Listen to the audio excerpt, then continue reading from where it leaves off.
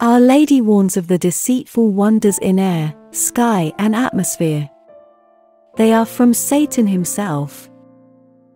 Amidst the mainstream controlled media's current hype regarding UFOs being shot down and the ongoing propaganda on the existence of aliens or beings from other planets, we remember the multiple warnings from Our Lady of La Salette. Our Lady of La Salette warned of wonders in the sky, air or atmosphere and that Satan will be the orchestrator of these lying signs. The message of Our Lady of La Salette has been also known as Our Lady's Apocalypse.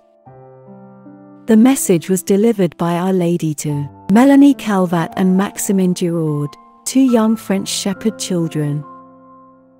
The message was approved by the Catholic Church and was published in its entirety at Lecce, France, on November 15, 1879 with the imprimatur of Bishop Zola. What is most fascinating about this message is that it reveals, what some people believe, a description of the diabolical UFO and alien deception, which the message confirms will be the lying wonders of Satan himself and will be prevalent in the times leading up to and during the Antichrist. The parts of the message that deal with these themes read as follows.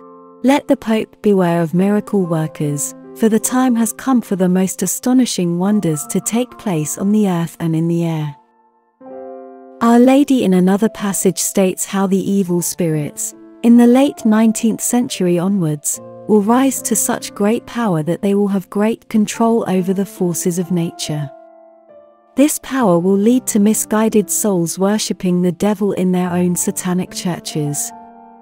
She says, in the year 1864 Lucifer, together with a great number of devils, will be loosed from hell, little by little they will abolish the faith, and that even in persons consecrated to God, they will so blind them, that without a special grace, these persons will take on the spirit of these evil angels. A number of religious houses will lose the faith entirely and cause many souls to be damned.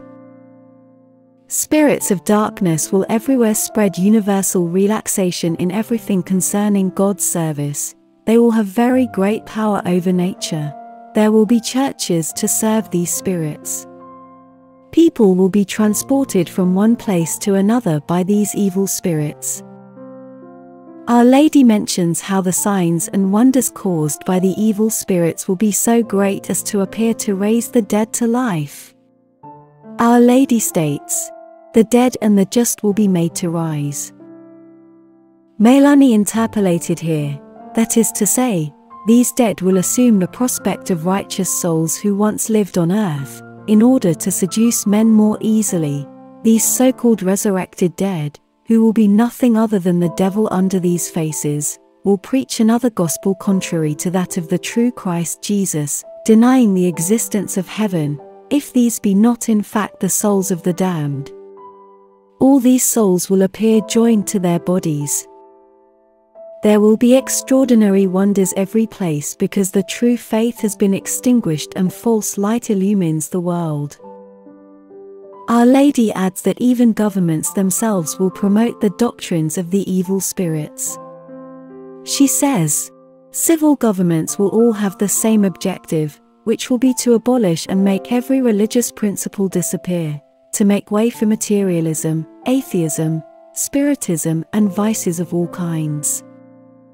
Our Lady continues, It will be at this time that the Antichrist will be born of a Hebrew nun, a false virgin who will be in communication with the ancient serpent, master of impurity, his father will be a bishop. Our Lady describes what sounds much like the unpredictable weather the world experiences today.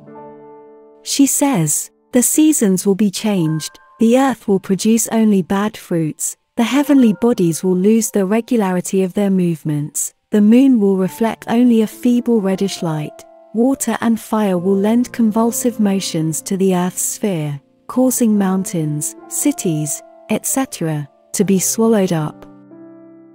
Finally, Our Lady of La Salette describes the demonic power they will have to create lying signs in the air and atmosphere.